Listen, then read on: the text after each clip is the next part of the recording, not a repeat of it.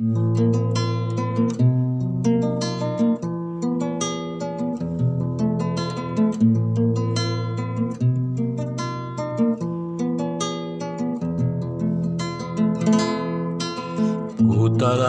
waktu menghempa yang tersisa. Anak-anak manusia menengadakan tangan Memohon ampunan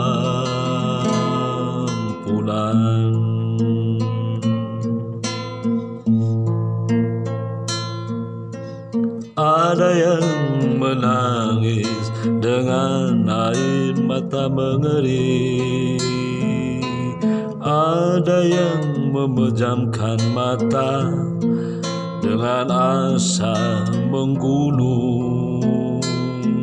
Ada yang menunduk dengan kepala mencium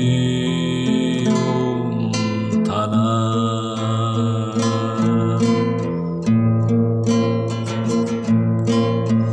Doa-doa dipanjatkan keheningan memuncak dalam kesadaran diri betapa ketidakberdayaan menemui rumahnya.